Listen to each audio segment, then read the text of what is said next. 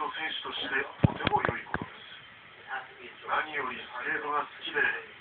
情熱を持っているのでハードな練習も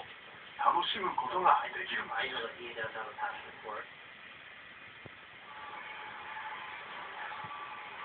ソチで金メダルを取るため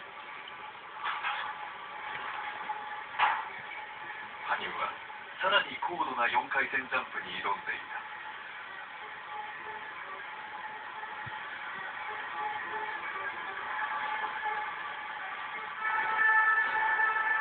世界王者のチャン